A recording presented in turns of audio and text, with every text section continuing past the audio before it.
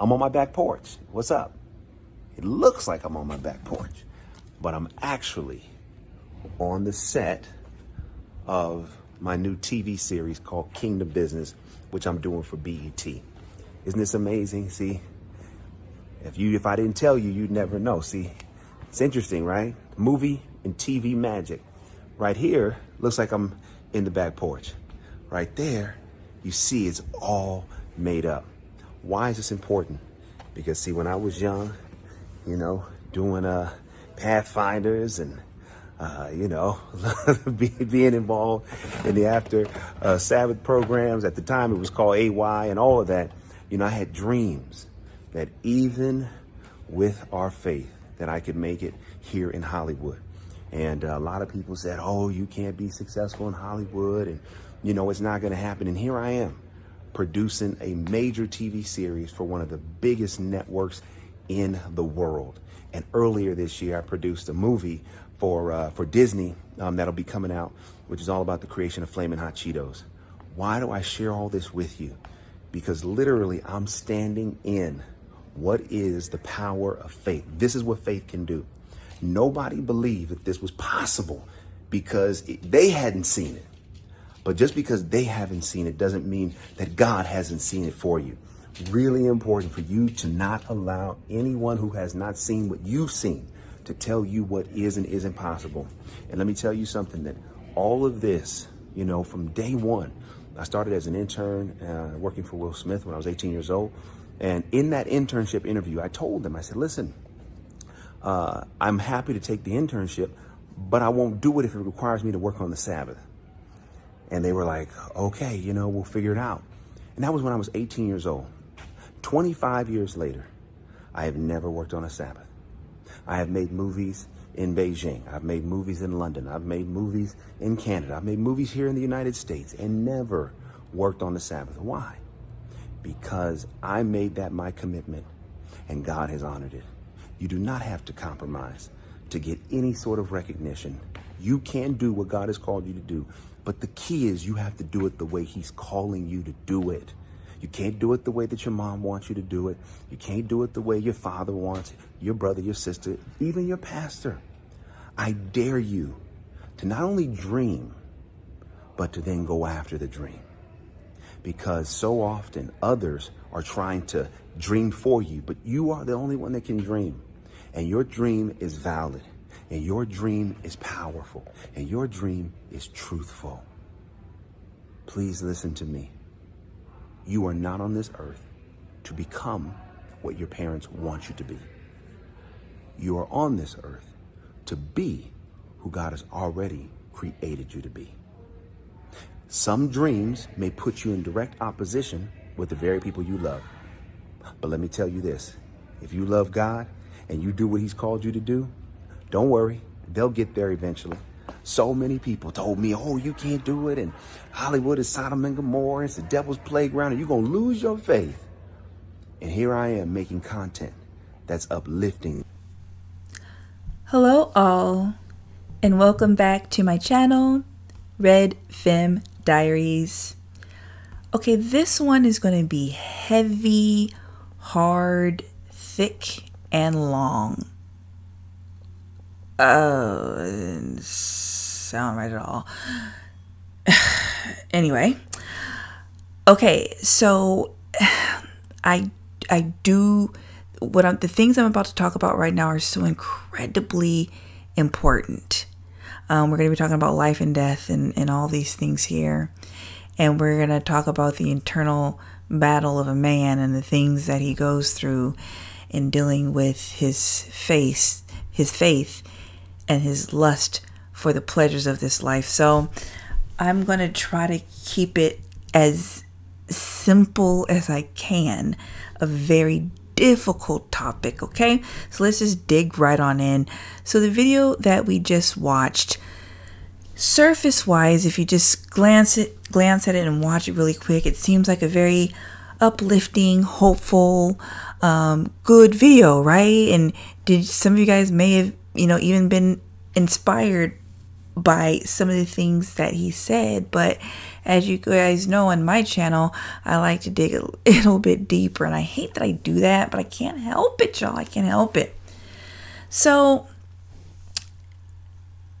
as I do this video, you might want to rewind and re listen to some of the things that he says and what I hear. I hear a person, a man that was brought up in a very strict religious background. I'm, like I, you guys know, I'm a Seventh day Adventist. And then, but he has this creative mind, you know what I mean? And although he can definitely do things within the church, there's something about the lure, the lure of of uh, fame and fortune and money and all these things. And so he decided to go into Hollywood. And so he wanted to believe that he could carry his Christian faith into Hollywood and that he could have both. He can prove to those who said that he couldn't do it that he could.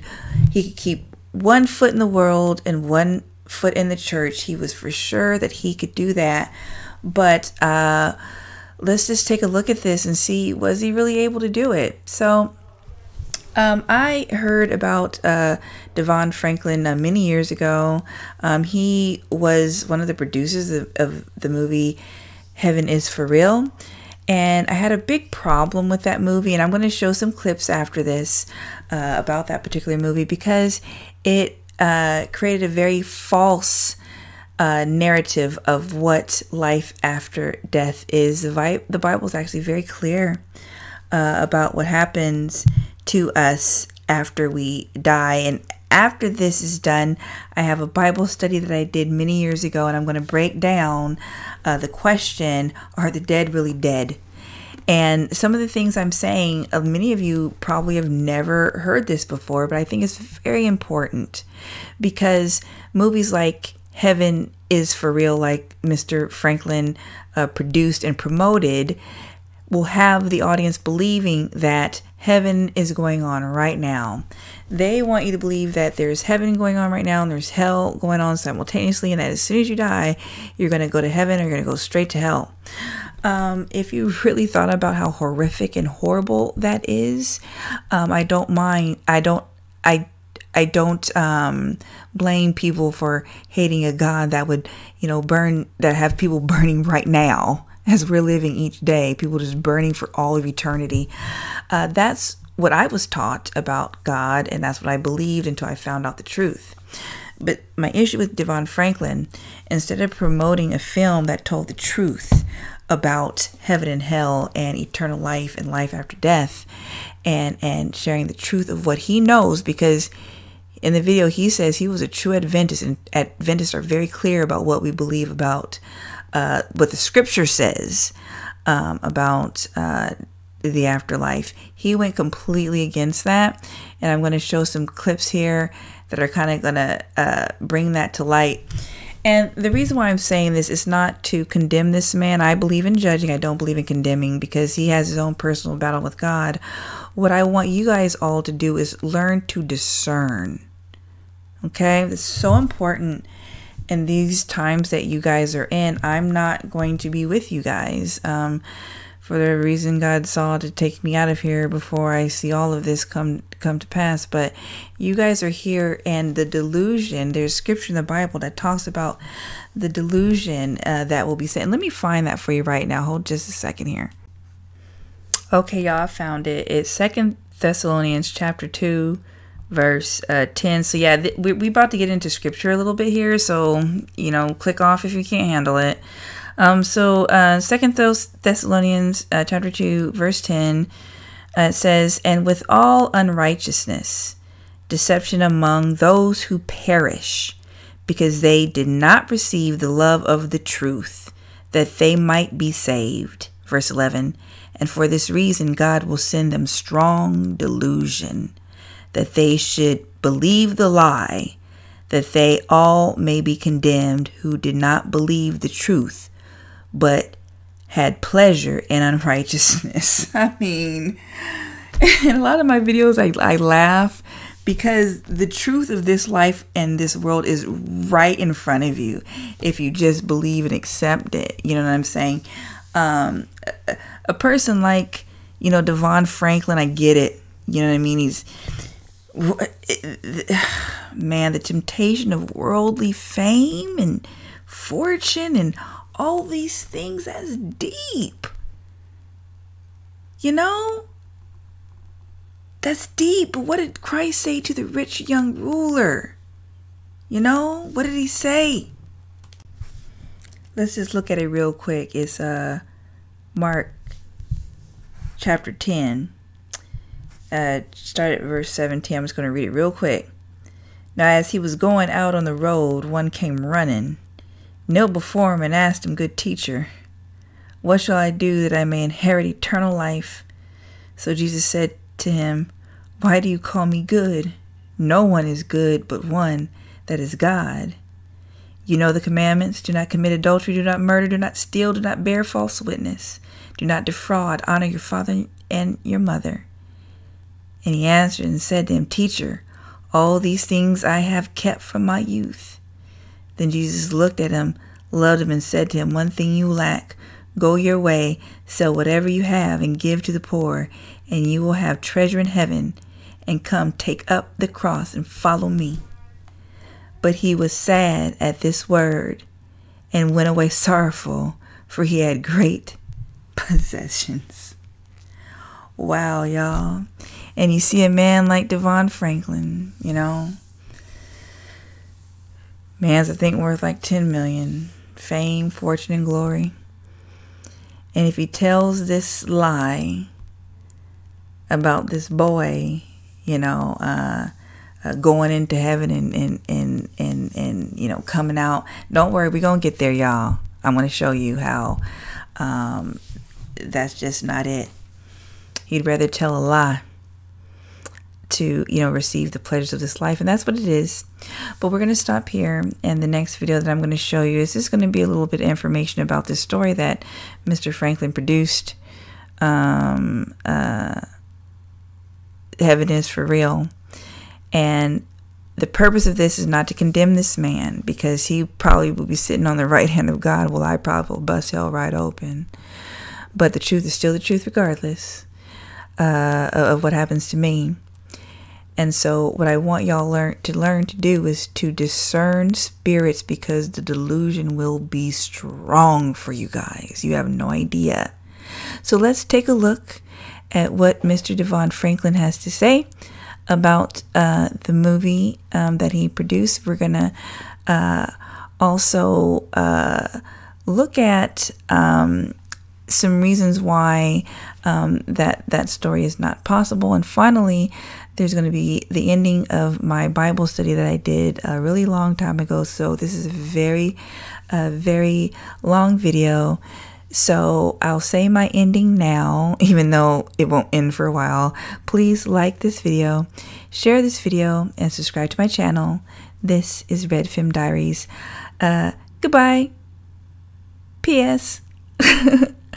Um, I I did my best to explain this. This it, it's hard to to break something like this down. I hope that you all grasp it and um, can learn from it. Okay, so here we go. Uh, see you next time. Now, what do we do with this recent batch? And it is a lot of people who profess to be believers and they write about taking trips to the afterlife. All right? What do you do with that? Well, I think you could start by asking the question uh, well, what exactly is going on with those people? What did they experience? The whole premise behind every single one of these books is contrary to everything God's Word says about heaven.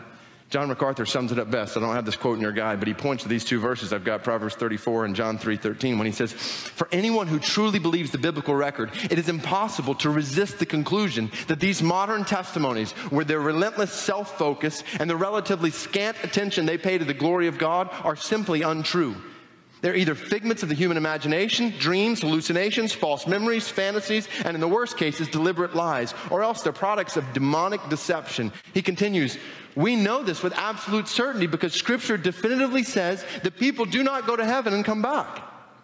Who has ascended to heaven and come down? Proverbs 34. Answer, no one has ascended into heaven except he who has descended from heaven, the Son of Man. John 3 13. All the accounts of heaven in Scripture are visions, not journeys taken by dead people.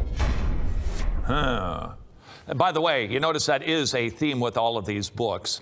There's another book, I don't think that he mentioned this one. It's a doctor. I don't think she professed to be a Christian at all. She took a trip to heaven and now she's writing a book about it. And people gobble it up because it's a book about heaven. These, we can conclude, are extra biblical accounts. Now, I don't know what happened in each one of their little journeys, but what I can conclude is they are not biblical. I can so these people, they're believers. Whatever is the reason that they're claiming that this happened, they got bonked in the head, it's a hallucination, something demonic. Maybe they're lying, but I can't know that. I trust they're a believer, but I also examine what does the Bible teach about these things? And even visions of heaven are very, very rare in Scripture. You can count them all on one hand. Four biblical authors had visions about heaven and wrote about what they saw Isaiah, Ezekiel, Paul, and John. All of them were prophetic vision, not near death experiences. Not one person raised from the dead in the Old Testament or the New Testament ever wrote down what he or she experienced in heaven, including Lazarus, who had a lot of time in a grave for four days. I was reading the other day, 2 Corinthians 12 describes being, Paul being, he describes being caught up into heaven, but he gave no details. He summed it up in three verses. One author said all the biblical writers who saw heaven and described their visions give comparatively sparse details, but they agree perfectly. Their visions are all fixated on the glory of God, which defines heaven and illuminates everything there. They are overwhelmed, chagrined, petrified, and put to silence by the sheer majesty of God's holiness. Notably missing from all the biblical accounts are the frivolous features and juvenile attractions that seem to dominate every account of heaven currently on the bestseller list.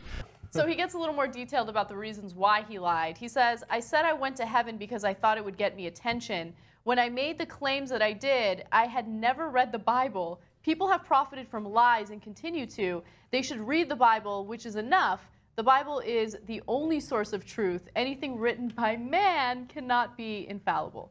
Okay, well, maybe we should stop asking a 10 year old kid about spirituality and the answers to the universe. Maybe that's what we should be doing. That's what you think? Because he's going from one bad idea to another bad idea. He's just a young kid. He's just a young kid. Yeah, no, this time he's got it. he's, he's got, got, it figured out this the time. The only truth, because remember when God, uh, he used fountain pens to write it. I don't know if you remember, he wrote the Bible with fountain pens. Is this that right? Yeah. Who, exactly what she said. These are just people looking for confirmation bias. And uh, who, who fucking believes this kid went to A lot of people. A lot of people. You're right.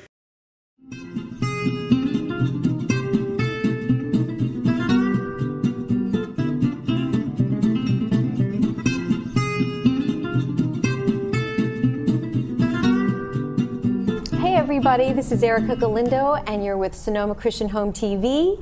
And we have a very, very special guest today. We have DeVon Franklin from TriStar. How are you today? I'm good. I'm good. Thank you, Erica, for having me. We are so blessed to have you here Amen. today. You are the force behind a movie that everyone's talking about. It's a film called Heaven is for real. Yes, yes. Tell us about this movie. The book was has been a huge, you know, huge. New York Times bestseller. Yes. Been on the bestsellers list for over three years. Yes. Sold, I think, over eight, nine million copies wow. to date. Uh, 35 different languages around the world. So the book has struck a chord with millions and millions of readers already. Wow. Joe Roth, who's the producer of Alice in Wonderland, he used to run Disney. He's one of the biggest producers in Hollywood. Originally found the book and he brought Is he it a buddy? He's, you know, I know him. He's uh-huh. more of like one of those people in the industry that I look towards yeah. because of his leadership ability. Sweet. Uh, but I didn't really know him very well mm-hmm. until we started working on the movie. Wow. He's the one that brought the project to me, bought the book, and we started working on how to put it together. Bishop T.D. Jakes came on board mm. as a mm. producer, incredible man of God. Yes, he is. And we started really beginning to develop the movie, and the goal was how do we tell the Burpo story with as much authenticity and integrity as possible. At the studio level, I've developed a number of real stories, true life stories, and you never want to make the Hollywood version. Right. Which is totally fictitious. Sure. Totally undermines sometimes the, the underlying material. We wanted to make sure that the essence and the truth of the Burpo story was preserved in the translation to the screen. Well, the, I think this whole question, is heaven for real, yeah. is so much something that people think about. It lingers in your consciousness. Mm -hmm. You wonder, especially if there's a death in the family, something happens. It's like, am I going to see them again? Yeah. You know, is heaven for real? So just yeah. the title, the book, the story is so fascinating. It is. It and is. your cast is amazing. Yes, Tell us about the casting and how you came up with this amazing oh cast. Oh my goodness. We have. Okay. Hey guys, I'm going to jump back in here real quick, but did you catch that? Uh, did you catch that? Basically, what he does here the host asked a very important question. I mean, isn't this the one question you should be searching for your entire lifetime? Is essentially what happens after you you die? Is heaven real? And it's almost like she really wanted to know herself, but she kind of saw that she wasn't going to get anywhere with it. And they kind of dodged that questions to supposed Christians that can easily answer that question from scripture, they dodge that and they immediately go into some characters and some actors. This this stage movie millions of people have watched, they can answer the eternal question what the scripture says, but they choose not to. Uh, one more thing before I go. Um, do understand that the story that uh, DeVon Franklin did of is heaven for real and the one that they were talking about Malarkey those are two different cases. There's been several cases of people going to heaven and also to hell. Uh, sometimes people recant sometimes they don't. But on this particular channel we go by what the word of god says. If you choose not to go by the word of god then you can pick any one of the millions and billions of stories of, of the path, the way to get to God that you so choose. But I do believe that we serve a good God and that He did give us a guidebook. He didn't just drop us off here, He gave us a guide to see through uh, the turmoil that is this life. Okay, uh, next will be my Bible study, and I will see you guys next time. Okay. Peace and blessings. I am Naturally Nyla, and I'm here again with a Bible study. This Bible study is going to be about the state of the dead and are, and are the dead really dead? As some of you may know, um, last year, last August, my father passed away from complications from stage four lung cancer. That was very traumatic for me, and I'm still grieving to this day, and I don't know that I'll ever stop grieving. I was very close with my father. And when he passed away, although I knew that he was battling that disease for so long, the pain of that um, was almost unbearable. And I'm, I'm still dealing with that now. But I still wanted to do this particular Bible study because my sister, Nikki, hi, Nikki, she has began her own spiritual journey. And in that, I said that I was going to be doing Bible studies on YouTube and that I would send them to her. I told her that I was going to be doing this one uh, like a couple months ago, but just haven't been able to get around to it. But I have the most beautiful and patient sister out there, and she's just so patient with me. And she's just like, whenever you, you know, get it out, I'll watch it, sis. So, love you, Nikki, and here you go. This is for you. So, um, so death, that is a topic that although you, you hear about it, you, you see it, it's not really talked about in any depth or any detail. Um, and so that's what I want to do now. I want to clear up um, misconceptions there are out there about what really and truly happens when you die. When my father passed away, there's so many people that said so many, you know, kind and wonderful things to comfort and console me.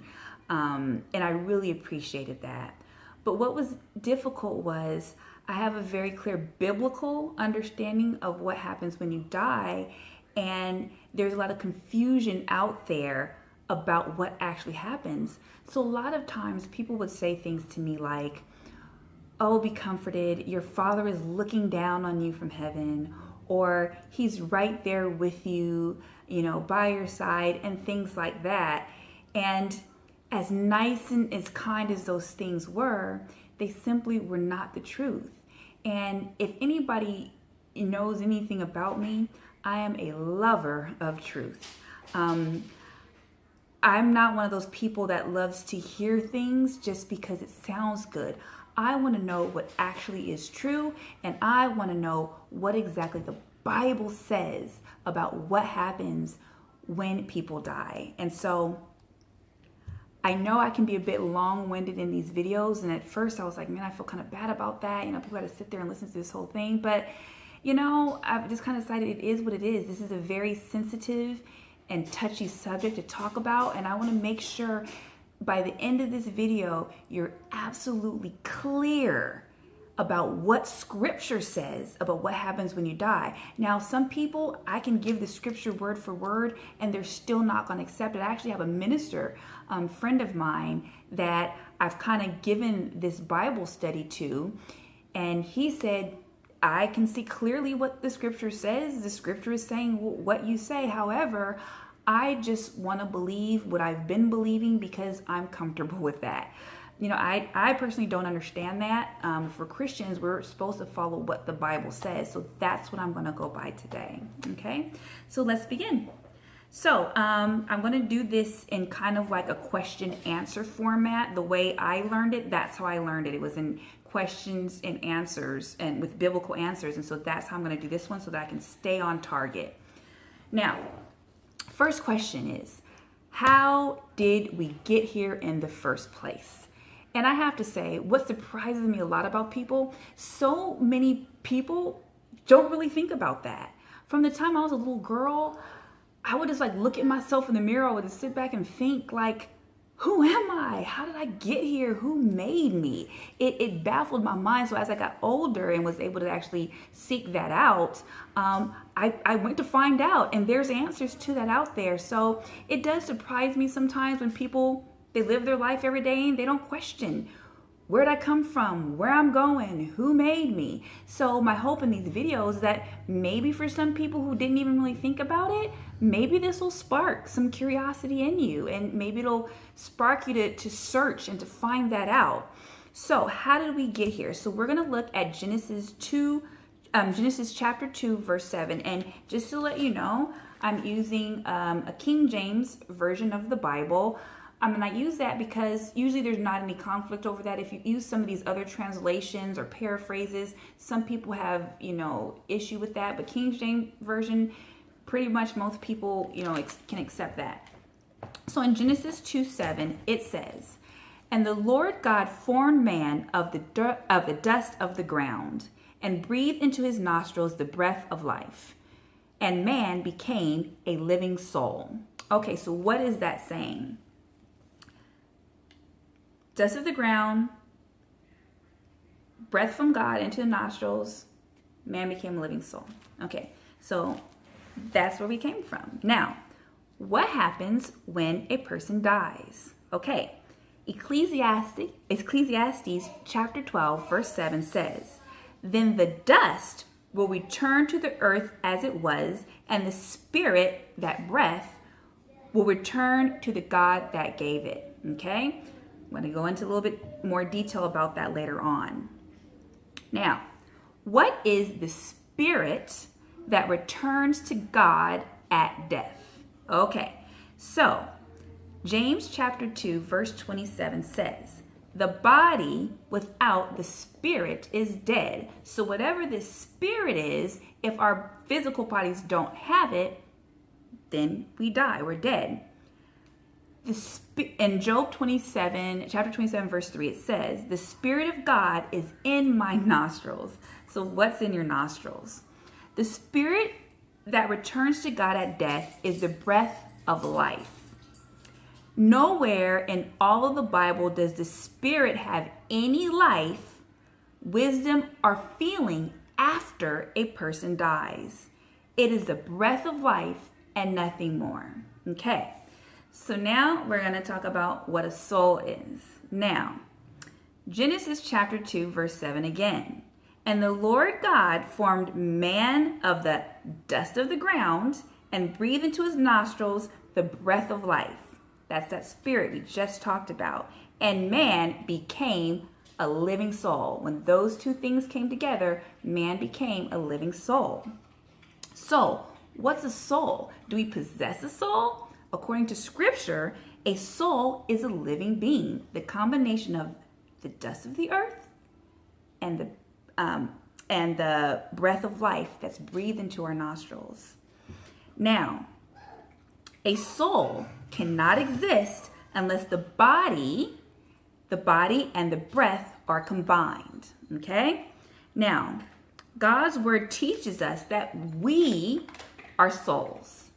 So, similar to when you hear people say, you know, back in the day when there was, um, you know, a, a ship sank or something like that, you remember like the Titanic, and they said, you know, 500 souls were lost. And what they were saying was 500 people, souls. Okay? Now, next question Do souls die? Okay. Ezekiel chapter 18, verse 20, again, King James Version says, The soul that sinneth, it shall die. Now, every living soul died in the sea, and that's in Revelation 16 3, talking about people. Now, according to God's word, souls do die. We are souls, and souls die. And I'm making this I'm probably talking really slow and making it very clear because I'm going to get into some heavier points later on. So I want this to be crystal clear before we get to the more difficult stuff. Now, only God has an immortal soul. You hear a lot of people say that we have immortal souls, but we just read here that the soul that sinneth, it shall die. So the concept of an undying, immortal soul goes against what the Bible says, which teaches that souls are in fact subject to death. Now, now we're gonna now now that we kind of have like the the ABCs, the one, two, threes of what a soul is and these different things, we're gonna get a little bit heavier. Now, do good people go to heaven when they die? the concept that we see in the world today and we see it in the movies and, and different and in books and things like that says that if you're good you go to heaven if you're bad you go to hell and that's what we think as soon as we die we go to heaven or we go to hell that's why people said to me, Your dad is looking down on you because my, they felt that my dad was a good man, you know, a good and righteous man. So as soon as he died, he must have went to heaven. So that's why he's looking down on me. But we want to find out is that really where my dad is? Now, in John chapter 5, verse 28 and 29, it says, All who are in the graves will hear his voice, the voice of Christ, and come forth. Now, in Acts chapter 2, verse 29, it says, David is both dead and buried, and his tomb is with us to this day. Okay, so we know that the Bible says that David was a man after God's own heart. So most of us can agree that more than likely King David is going to be in heaven. But it says clearly here in scripture that David is both both dead and buried, and his tomb is with us to this day. So if anyone's going to be in heaven, we know it's going to be King David, but he's both dead and buried. Okay. Now, Job, um, Job chapter 17, verse 13 says, If I wait, the grave is mine house. So, to answer the question, do good people go to heaven when they die? David was supposed to be a good a good person. He's not in heaven. He's both dead and buried. Okay? What happens when a good person or a bad person dies? They go to their graves and await the resurrection day. And we're going to get into that a little bit more later. Now, next question. How much does one know or comprehend after death? So going back to the thing, the, the statement that said to me, your father is watching you from heaven, he's comforting you, he's with you. So how much does my father know now that he has passed away? How much does he comprehend? Well, let's find out what the Bible says. So it says, For the living know that they will die. We're the living, we know that we're going to die.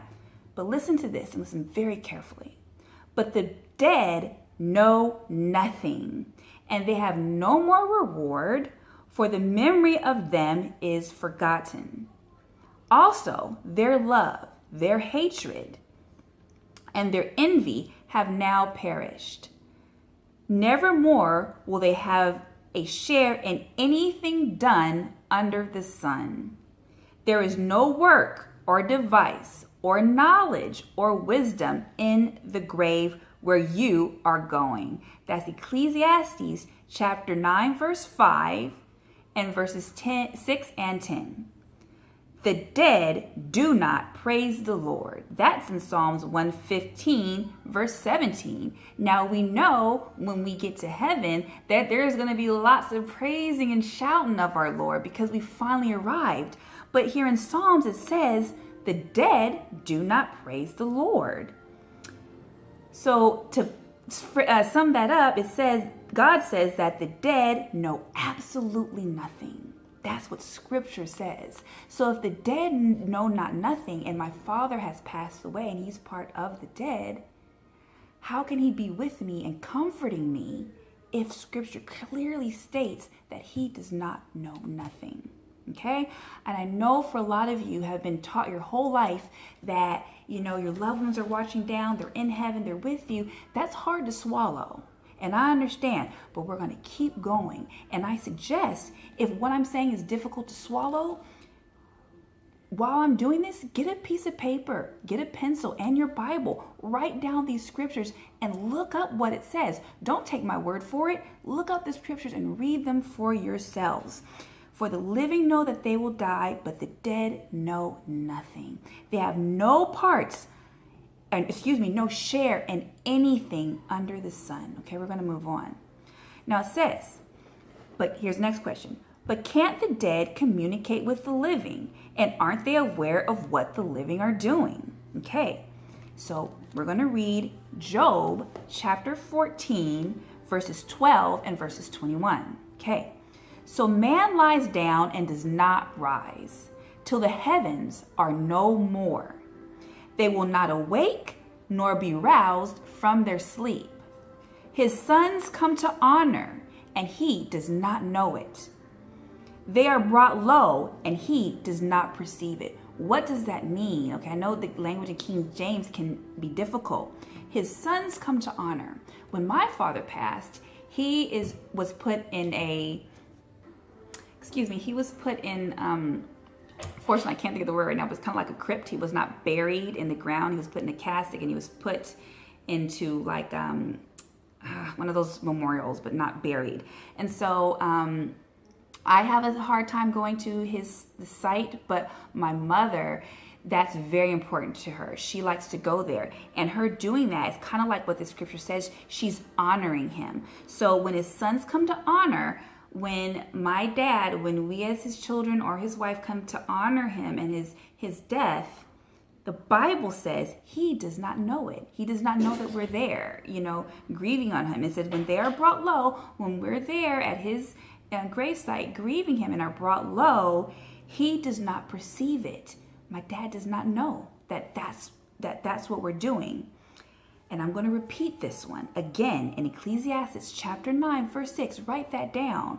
Nevermore will they have a share in anything done under the sun. So the answer to can't the dead communicate with the living or according to scripture? No. The dead cannot contact the living, nor do they know what the living are doing. They are, in fact, dead. Okay, we're going to move on. Okay, now um, I always say this in my videos, but I am a Seventh day Adventist. And um, when I first became a Seventh day Adventist, a lot of people called us a cult. And so I was a little skeptical of that because I'm like, oh, they're a cult. And one of the reasons that we are called a cult is because people say that we believe in soul sleep, and that is a, a devilish false doctrine. So and it, it, sounds like a soul sleep. That sounds kind of funny. That doesn't sound, you know, biblical. You know, it does sound a little bit cultish. Cultish. So I really looked into that. So let's find out what Jesus calls death. And so the question is, Jesus called the unconscious state of the dead sleep in John 11, um, John chapter 11, verses 11 through 14. So how long will they sleep? That's the question. So let's let's read about that. Job chapter 14 verse 12. So man lies down and does not rise till the heavens are no more. Now, okay, excuse me. Sometimes I pause because my kids come down. Um, so please excuse me for that. So um, we were talking about how um, Jesus himself calls death sleep. So pay very close attention to this. Matter of fact, I would really write these scriptures down. So we're going to go to the book of John, chapter 11, verse 39. And Jesus said, Take you away the stone. Martha, the sister of him that was dead, the dead being a man by the name of Lazarus, saith unto him, Lord, by the time by this time he stinketh, for he hath been dead four days. Now, let's pause there for a minute. A lot of you have probably heard these testimonies and these things of people that say that they've had a near death experience and they were on the operating table. The, the doctors pronounced them dead. They were dead and they saw a great light and a voice telling them to go towards the light. And there's so many different studies about those things.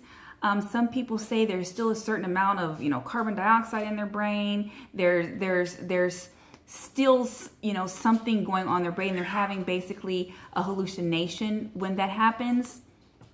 To be honest with you, I don't know what's going on in their brain when they've been pronounced dead for a few seconds, even for a couple of minutes.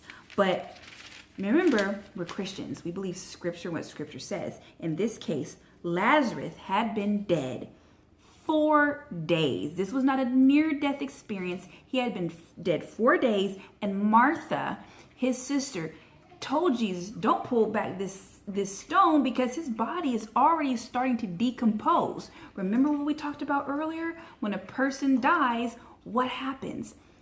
Remember the dust of the ground um, the, um, the breath of life come together to form a living soul. When we die, that separates. The body goes back to dust and the breath goes back to the one that gave it. So in this case, when she says he stink, stinketh, Lazarus' body is starting to decompose. And if we were to put a body in, we put we embalm a body and we preserve it and we put in this cost this casket, seal it tight to, to I guess to to postpone this from happening. But you're going to decompose. If you were put into the ground, that's exactly what you're going to return to. You're going to return to earth. So in this case, four days, completely dead, starting to stink. Now let's see. We're going to go to John chapter 11, chapter 11, verse 11, and we're going to see where Jesus says that Lazarus sleepeth. So here we go. It says, These things said he, and after that he said unto them, Our friend Lazarus sleepeth but I go that I may awake him out of sleep. Now, this is a red letter version. So when he says, Our friend Lazarus sleepeth, those are the words of Jesus Christ himself. He's saying that Lazarus sleepeth. So some people say, well, he's saying that Lazarus sleepeth, but that's not really what he meant. He wasn't really saying that. Let's find out what Jesus really meant when he said that Lazarus sleepeth. Okay, so we're going to go down to verse 12. And it says, Then said his disciples, Lord, if he sleep, he shall do well. He's just taking a nap. That's what Jesus meant, right?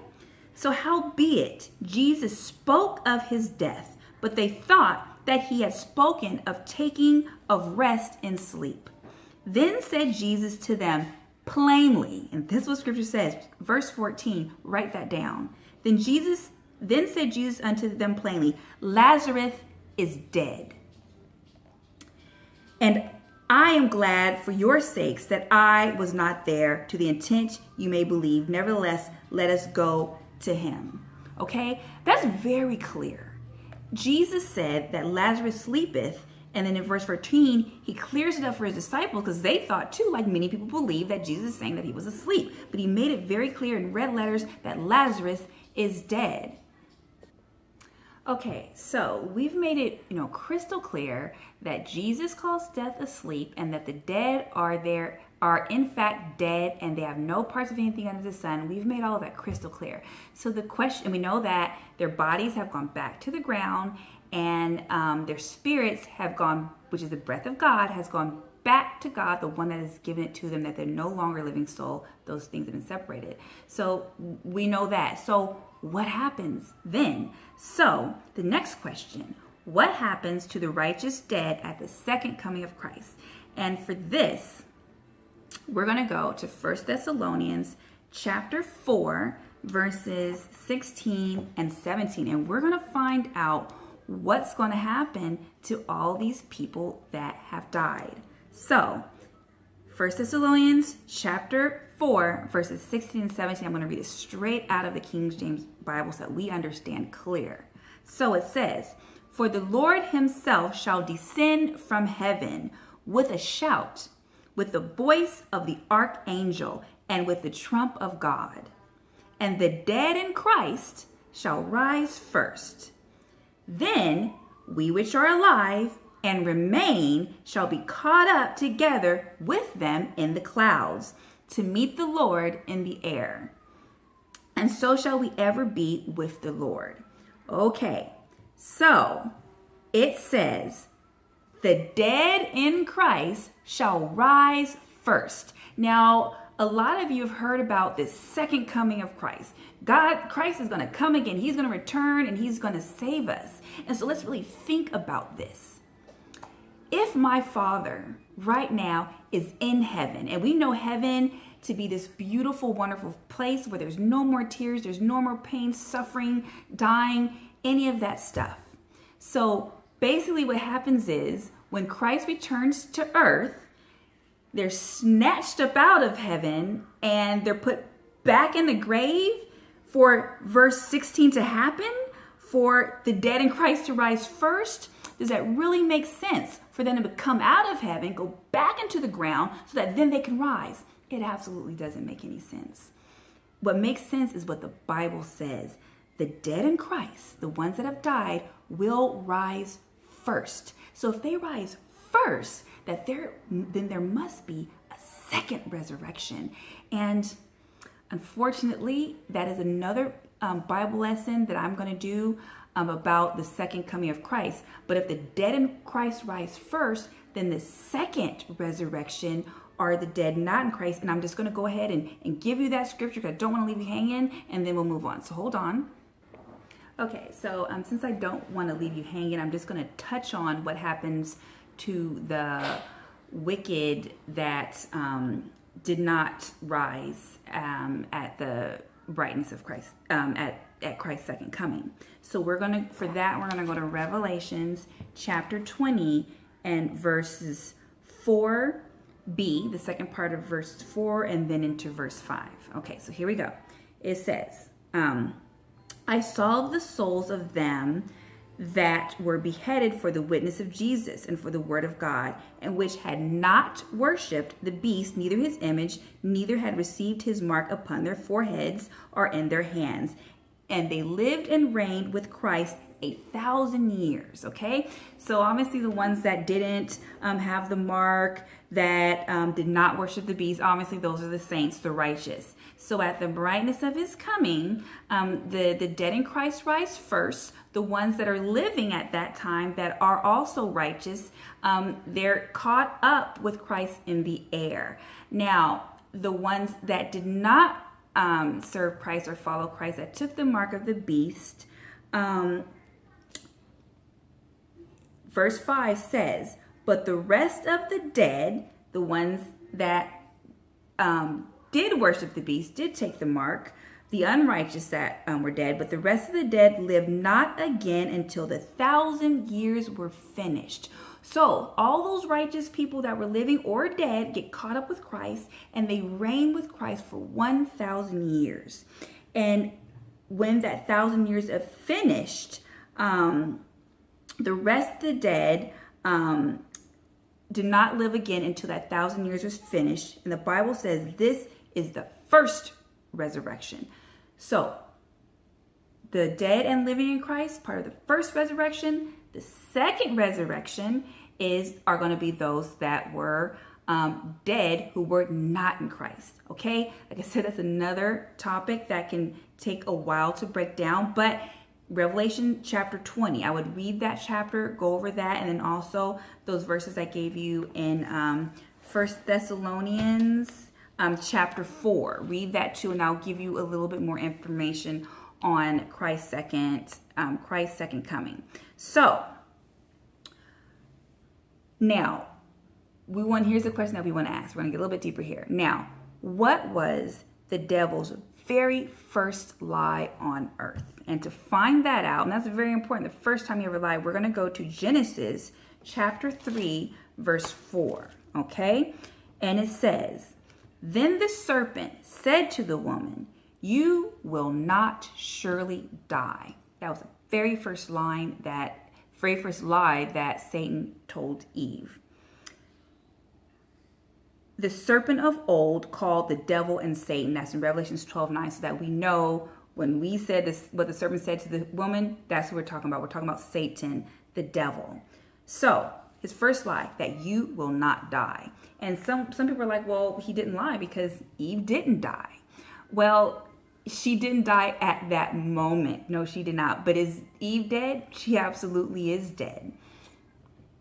Okay, so the question is, why did the devil lie to Eve about death?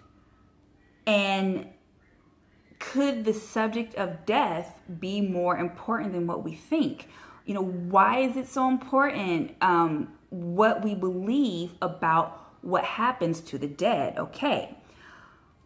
One of the most important parts of the devil's teachings is this subject of death we know that Satan, the devil, always uses deception and God always wants the truth.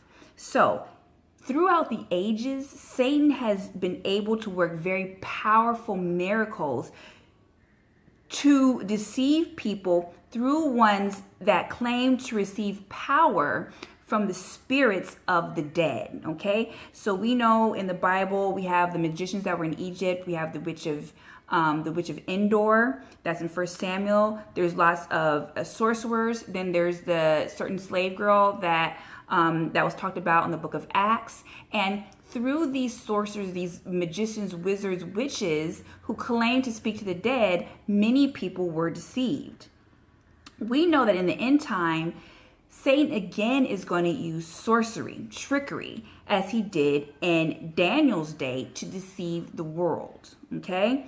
Um, sorcery, if you don't know what that is, it is a supernatural, I'm reading a definition, agency that claims to receive its power and wisdom from the spirits of the dead. So if you do not fully understand what truly happens with a person dies when someone, a spiritist, a psychic, these different people come to you and they can give you these readings and different things, you are now under that person's influence and you can be deceived because you're opened up to what they're saying because you believe that they're actually communicating with the dead.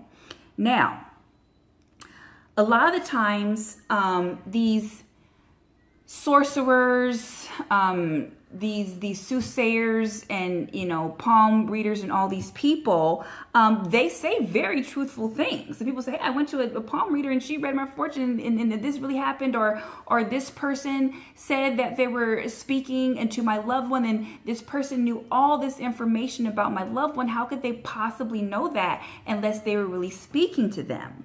But we know that there are demonic spirits that are in and among us that we cannot see.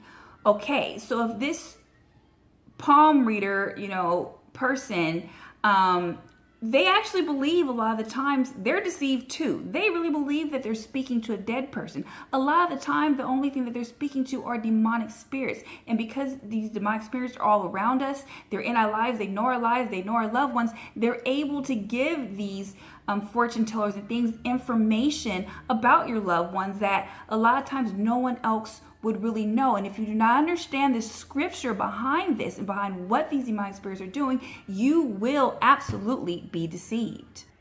So basically, what these these demonic spirits do is they like to pose as our um, our godly loved ones that we know we're Christian. They pose as them. They um, pose as, as clergymen um, that are dead, Bible prophets. Um, and even sometimes we see that they pose as apostles or disciples of Christ. And we see that in, um, in 2 Corinthians chapter 11, 13. You can read about um, them doing that. But we know that Satan and his angels will deceive billions of people. So for those people in any form, um, will absolutely be one of the ones that are deceived. Okay, so let's talk about this deception, okay? And we know that as we come near and nearer to the end times and Christ's second coming, we know there is going to be a lot of deception, and there's a lot of um, deception going on right now. So the question we want to ask is do devils really work miracles? Are they able to work miracles? Let's find out what the Bible says. In Revelations chapter 16, verse 14, it says, For they are the spirits of devils working miracles. For false Christs and false prophets will rise and show great signs and wonders to deceive, if possible, even the very elect. So, who are the very elect? These are people who, these are our pastors, ministers, evangelists, all these people who seem to have so much wisdom and understanding. The Bible says even those ones are going to be deceived by Satan and his um, Satan and his devils.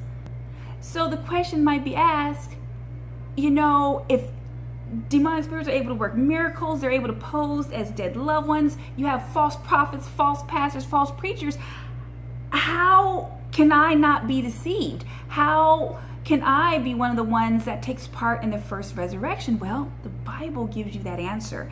And it says in Acts chapter 17, verse 11, write that one down too. It says, They received the word with all readiness and searched the scriptures daily to find out whether these things are so. Now, in Isaiah chapter 8, verse 20, it also says, If they do not speak, according to this word, it is because there is no light in them. So basically, what the scripture is saying that to keep from being deceived and and and to, to, to know the truth, know what's going on, you're gonna have to read this word. There's no way around it because the deception is so deep. If you just listen, you've been going to your pastor for 20, 30 years. And like I said, I told you about my friend before, and he's been under his pastor for many, many years.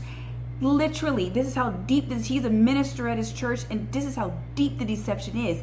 Even given scripture about the Bible, his mind cannot accept it because he's been under that deception for so long. The things I told you about the dead and what Christ says about the dead, right out of scripture. And I know that there's many of you watching this that even listening to what I said, you can look at the scriptures all you want to, it's still going to be that hard for you to, uh, to receive it because, like it says, if possible, um, even the very elect will be deceived. Okay, now, like we just said in Acts, there, those that are not um, deceived will they receive the word with all readiness and search the scriptures daily to find out whether these things were so. So is it just about just reading the scriptures? I gave you all those scriptures and, and you heard them, you can hear them, but it's about receiving the word with all readiness, meaning that you want to know. I remember when I was researching this topic, I really wanted to know what the Bible said. I could have cared less what any pastor or someone said. That's just something we can concoct anything in our mind about what we want to believe what happens to the dead. We miss our loved ones. I miss my father so much. If I can just have one more moment with that man, it's like I would give anything for it. And so I absolutely can understand a person really wanting to believe that their person is right next to them in their house or is looking down on them or comes to visit them. I understand wanting wanting that. I would love if my father could visit me. But the fact of the, the of the matter, the, the truth, the reality of it is that my father is just that. He's dead. And he's not looking down on me and he's not coming to visit me. And that is very hard thing to swallow. And please don't feel that I'm being insensitive to that. I'm not because literally I'm still in mourning. It's not even been a quite a year yet since my father has passed. So I'm still feeling this every day. I miss that man with all my heart. But because I'm I'm sad and in mourning, do I throw away the truth of God's word? Absolutely not. Okay, so we're coming to a close here. So for some of you out there who have held so strong to beliefs, I know what I said is hard to swallow, and some of you absolutely won't won't accept it won't, and and and will reject it. I understand that, but there's good news in that, and even though my father is gone and I can't talk to him, and I can't touch him, and I can't, you know, I I, I can't pick up the phone and call him anymore. There's some good news, and that's why God's word is awesome. And here's the last question. Will the righteous people who are raised in the resurrection ever die again? And the answer to that is no. Um, we're going to look at Luke chapter 20, verses 35 and 36. And it says this It says, But those who are counted worthy to attain that age and the resurrection from the dead, nor can they die anymore. And this right here, I have so many favorite scriptures in the Bible, but this one right here, this is a go to for almost anything that I'm going through and in mourning and dealing with the, the passing of my father, this one I think got me through some some terrible, terrible times. And it's Revelation chapter 21, verse 4. Write this one down, and it says, And God will wipe away every tear from their eyes. There shall be no more death, nor sorrow, nor crying. There shall be no more pain, for, for the former things have passed away. And that's God's promise to us. Um, death, sorrow, crying, tragedy will never again enter into God's new kingdom. So, as the Bible says, when this corruptible has put on incorruption and this mortal has put on immortality, then shall be brought to pass the saying that is written Death is swallowed up in victory and that's in 1 Corinthians chapter 15 verse 54. So, do I miss my father? Absolutely. But my hope, what I put my hope and my faith in is in what God's word says. That although my father is dead and gone and he does not know what's going on with me and I can't speak to him, I know that if I keep going on in my faith and if I keep pushing forward and and and run this race as the Bible says. It seems like more of a marathon, but then it's going to seem like it was just a race. I know that I'm going to see my father again. And um, towards the last few years of my dad's um, life, he was on a, a, major spiritual journey himself and he was seeking out truth and he also was learning about the doctrines of the seventh day adventist and he understood this doctrine and before he passed me my dad had lots of really deep conversations. That's that's what me and him did. We just would get into it and get into scripture. And so before he died, while he was going through um, his cancer treatments, we had a conversation. I asked him. I said, "Dad, do you know what's going to happen? You know, when you pass?" Because we knew that it was coming, and he absolutely knew. And knows, and he took comfort in that. He knew where he was going. And when I die, I know where I'm going. I know what's going to happen. It's not a mystery to me, and I'm not confused. And what I know is that even though I can't be with him right now, that that day is going to come where I'm going to be reunited with my father again. I go I'm not going to say just me, but all of us go through so much pain and heartache in this life. The, you know the racism you know murder discrimination you know dealing with death financial problems the struggles depression the, the sickness disease all you know, we don't really deal with it in the United States so much, well, some do, but you have famine going on in other countries, genocide. This place, even though that there are some some pleasures, this place that we're in is a horrible place. And God is not so evil that he will have people in heaven looking down at the pain that we are going through here. My dad not did not have to look at me and my sisters and my mom on the day of his funeral mourning and crying for him because we cried. Um, he didn't have to look at that. My dad's at rest. He doesn't know anything that's going on in this life right now. His next conscious thought is going to be being resurrected with his Savior and being reunited with his family. And our God's a good God, and that's and that's the system that He set up, set up, and it makes absolute sense. So um, I think that's pretty much the end of this Bible study. I do understand that this was long, but honestly, it could have been way longer than, than this. I, I kind of just gave the basics of this doctrine and what happens to us um, when we die. So my hope is for anyone that was able to sit through this and listen, please um, in the comments section ask questions. Um, I love doing this and I love putting that information and knowledge out there. If you disagree, put it down there too, and I'm going to do my best to answer those questions um, for you. Um, so that's very, that's pretty much it. Again, peace and blessings, and thank you for listening. Oh, and the sun's almost setting, so happy Sabbath.